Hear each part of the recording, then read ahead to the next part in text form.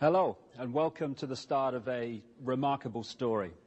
In fact, the word remarkable is hardly adequate. It's almost impossible to reach for a description to describe the scale of the information that you're going to see and hear in the next uh, four hours or so. Imagine, for instance, that despite what we're led to believe, there is no such thing as a random accident, a random incident, a random anything that everything happens because it is meant to happen. On a spiritual level, how we create our own reality. And what we blame other people for, we're actually creating. And in the second part of this video, in the second video, we're going to look in detail at how that happens because now, as the veil lifts in the last few years of the 20th century and we move into the 21st, we're now scientifically being able to uh, confirm that these things are true. And then there's another level of what you're going to hear in the next four hours, which I'm going to really start with. And that's another version of there's no such thing as a random accident or a random incident. It's a story that reveals that not just now, not just in the modern world, but back thousands and thousands of years, a tiny, tiny few people indeed interbreeding genetic bloodlines, have controlled, entered the positions of power, and have orchestrated what we call history. So that wherever you look, increasingly as we've created the technology to become a global society, increasingly this tiny little clique, the tribe or the brotherhood as I call them, have been able to orchestrate the major events and therefore the direction of the world on a global scale and a scale that beggars belief.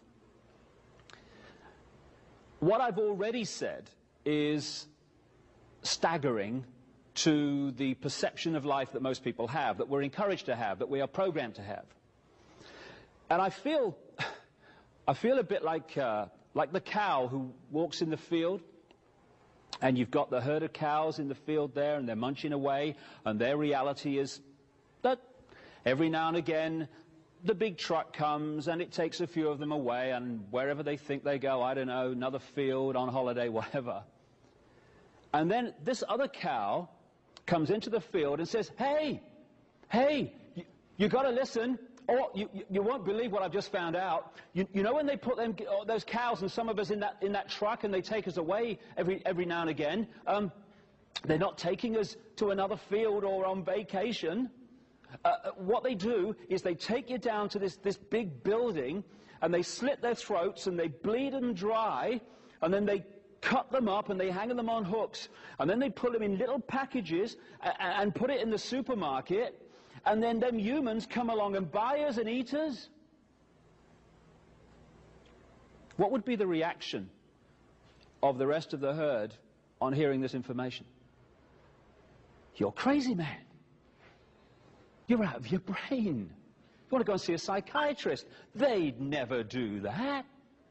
This is ridiculous. And anyway, I've got shares in that trucking company and I get, get a good return. Shut up. You're making waves.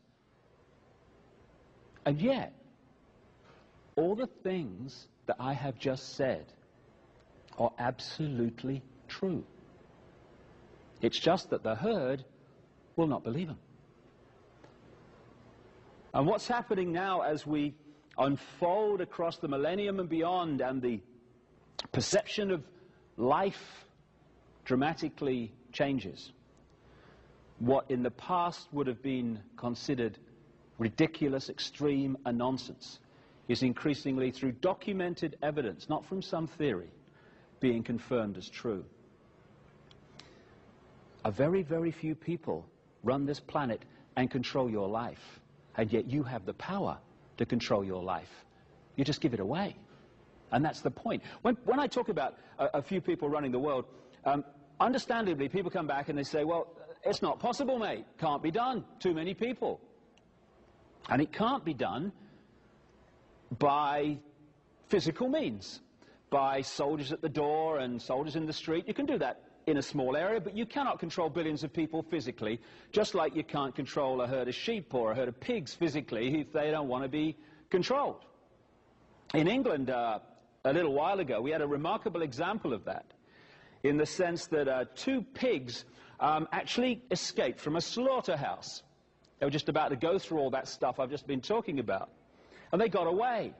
What they said was, instead of just following the herd and just accepting that that's what you do, they thought for themselves. They expressed their uniqueness. They broke out of the herd.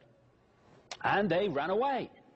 And this became a major national news story day after day after day because all these different people and agencies were dispatched to, to catch the two pigs and they couldn't catch them for days and days and days because they were trying to catch them physically.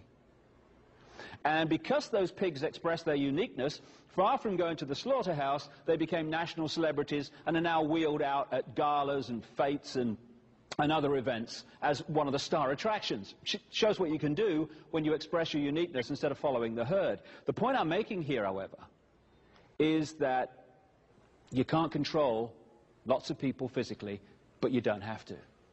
What you do is you manipulate the way they think and the way they feel so they behave in the way you want them to. Mind and emotional manipulation. Uh, summed up and symbolized uh, by this. We are multidimensional infinity. We're not just a, a physical body. As we'll come to in the second of these two videos, we are everything that exists. But how much of everything that exists, the eternal consciousness, are we accessing? infinity or just a fraction.